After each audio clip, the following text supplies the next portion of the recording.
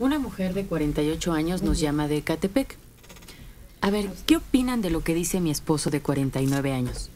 Que mi hijo de 17, cuando cumpla 18, lo tiene que llevar a un prostíbulo para enseñarle él cómo se tiene sexo. ¿Cómo es la vida de un adulto? Es una barbaridad. De ninguna manera usted niéguese y pues necesita más información usted acerca de llegar a esa edad crucial y conocer del sexo, pero cuidarlo. Y yo no sé qué fe tengan, porque si están en la religión católica, hay miles de, de personas cercanas con conocimiento más maduro de la situación que puede dar una orientación precisa al papá, pero también cualquier psicólogo lo, lo puede hacer. Sí, aquí el que está pasándose de listo es su esposo. Que ignorante no creo que sea. Qué mejor pretexto, ¿verdad? Para una canita al aire. O tal vez a él le sucedió en la misma forma que pretende ahora hacerlo. Es retomarlo y preguntárselo y hacerle ver que no es papá quien tiene que inducir una cosa de estas en una pérdida total de respeto a la madre y al hogar. Su hijo a los 17 años no cree que necesita mucha información, ¿eh? Le sobra, a menos de que curse con alguna discapacidad. Eh, además, eh, pues yo creo que es algo que es tan personal que su esposo no tendría nada que hacer ahí. Platique con él, porque no creo que sea ignorante, yo creo que se está pasando de listo, señora, para justificar, insisto, una canita al aire. No, no, no, una falta de respeto total. Y es, es un rito primitivo. Eh, derivado de costumbres eh, salvajes. Hay, hay, tribus en que se hace eso. O se pone al joven a matar un león, por ejemplo. Es el rito Mejor que vaya a matar un león. sí, sí. un rito de paso. el león. la, la, comunidad espera. Entonces, esto, esto viene de, de una forma muy primitiva de pensar. Lo que encuentra al león, ya creció cinco o seis años más y ya tiene experiencia. Ya tiene, ya tiene nietos, Pero señor. Es de las cavernas esta, esta visión. Hay un bar o un centro nocturno que se llama Las Cavernas. Sí, cómo no. Ah, pues entonces ahí. Sí, no, no, no, qué tipo. No, el tipo es el que... Qué tipo. No, mire, mire, señora, usted planteele a su esposo, oye, si nuestro hijo fuera una hija, ¿pretenderías hacer lo mismo? Para que entienda la barbaridad. ¿Podría yo llevarla, esposo? Si en lugar de eh, eh, hijo varón tuviéramos una niña, ¿yo podría llevarla a un antro para que conociera a alguien y decirle el cómo, cuándo y por qué?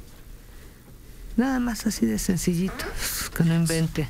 Sí, nada más que para que empiece así, la hija es para venderla al, al, al señor tribal de la... Por eso yo... No des ideas, Mario. Por eso yo Es esposa capaz la de voy a vender. Sí, ¿verdad? yo esposa la voy a rifar y aprovecho por ahí Rifas también la para... virginidad. ¿Verdad? Pues sí, ya lo vimos en Pretty Baby con Brooke Shields, ¿por qué no? ¿No era Brooke Shields? Sí. Ah, Brooke Shields. Sí, sí, entonces, no, este, este señor se pasa de listo y considera que su esposa es una tonta redomada. Tengo que llevar al niño. Ay, ajá. Un hombre de 46 años. Hace siete años me junté con mi esposa. En ese entonces ella tenía 24 años y yo 39. Vivíamos en unión libre. Tuvimos dos niñas de 6 y 4 años y nos separamos hace un mes. Ambos trabajamos. Ella decidió no seguir conmigo porque dice que no recibía el dinero suficiente. Ella no atendía el hogar ni a mis hijas. Siempre quiso que viviéramos en la casa de su hermano. Teníamos nuestro propio cuarto y compartíamos el resto de la casa.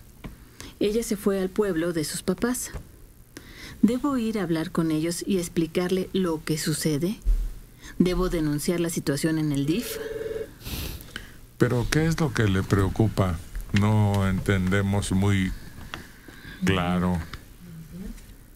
Yo creo que aquí el problema debe resolverse por los hijos, que están muy chiquillos todavía, y hablar ampliamente sobre el futuro de esos niños, a los que ojalá que no les falte un papá o una mamá, porque ese es el, el pleito ante una separación donde uno de los dos del matrimonio se va fuera de la capital de la República.